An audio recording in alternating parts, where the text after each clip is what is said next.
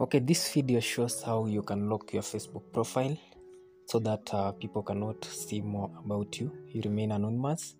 So, as you can see, mine is not locked. Uh, I'll guide you step by step on how you can do it using the simple steps. So, you click the three dash lines, then you click on settings, then you scroll.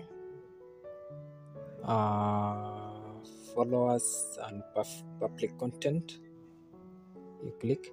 So here you'll have to make sure that everything you can see there is in friends.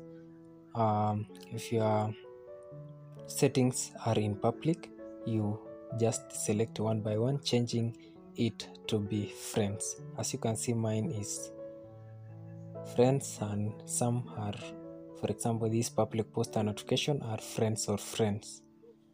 Friends of friends. So i'm now coming back then i click on profile and tagging. Then i also make sure that everything is in friends. So make sure yours is also in friends because uh, if you do not do the same you will not see the uh, option to lock your profile. So after doing so for me now i'm coming back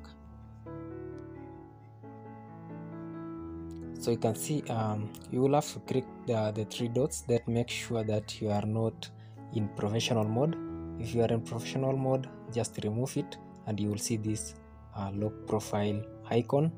As you can see here lock profile. So you click lock on, on lock profile then your profile will be successfully locked. Okay? So thanks for watching see you in my next video. Make sure to subscribe like and share the video. Thank you